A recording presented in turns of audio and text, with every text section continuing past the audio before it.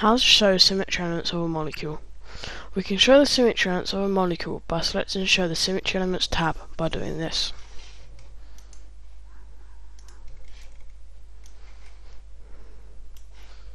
Using this molecule, which happens to be the drug aspirin, as an example, we can show these three symmetrical effects. To show the effect of an inversion point, we do this.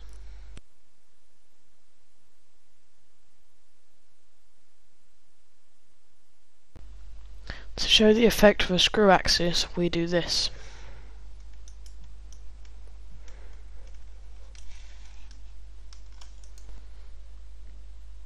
To show the effect of a glide plane, we do this.